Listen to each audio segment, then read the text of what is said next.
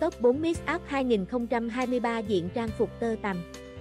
Top 4 Miss Up 2023 gồm Rita Giri, Ilana Marie Aduana, Đỗ Lan Anh và Cora Blue cùng khoe sắc với bộ sưu tập váy áo rực rỡ may từ lụa tơ tằm của nhà thiết kế Vũ Tường Vi. Các thiết kế thuộc bộ sưu tập Charming Nature của Vũ Tường Vi, sử dụng chất liệu tơ tằm làm chủ đạo với những họa tiết cỏ cây, hoa lá, chim muôn thể hiện sức sống. Nhà thiết kế ví mỗi trang phục của mình là một bản hòa ca của thiên nhiên khi mùa xuân về.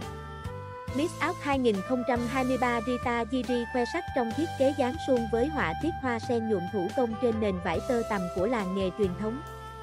Người đẹp khiến bộ trang phục trở nên bắt mắt hơn khi phối cùng khăn tu bần đính hoa đồng điệu. Hoa hậu Rita Giri thích thú với một thiết kế oversize màu vàng rực với họa tiết vườn hoa, chim muôn bay lượn như một bức tranh thiên nhiên mùa xuân được được vẽ tay. Người đẹp cho biết cô thấy mình ngọt ngào và nữ tính hơn khi diện các thiết kế từ lụa Việt Nam.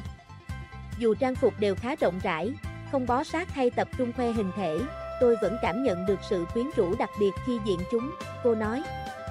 Miss Out E 2023 Ilana Marie Aduana chọn một thiết kế vẽ khu rừng hoa hồng nhiều màu sắc trên nền lụa xanh, phối cùng khuyên tai đính đá to bản và cài đầu bằng hoa tươi.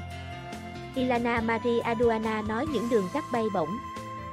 Sự mềm mại của chất liệu tơ tằm khiến cô cảm thấy mỗi bước chân của mình trở nên uyển chuyển hơn. Lụa tơ tằm tằm là loại vải được dệt từ sợi tơ của con tằm, sâu bướm, chuyên ăn lá dâu. Sợi tơ tằm là sợi protein trích từ huyết tằm. Sợi tơ tằm có tính chất bền dẻo nhất trong các loại tơ sợi tự nhiên. Ngoài ra, quy trình làm ra được tấm lụa tơ tằm vô cùng cầu kỳ tỉ mỉ. Vì thế, lụa tơ tằm từ lâu được coi là thượng phẩm tại các khu mua bán sầm uất.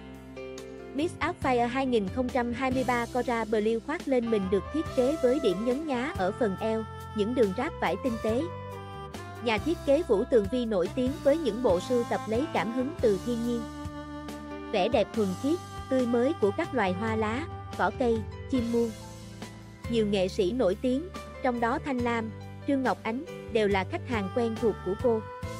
Các bạn hãy đăng ký kênh để cập nhật thông tin miễn phí mới nhất.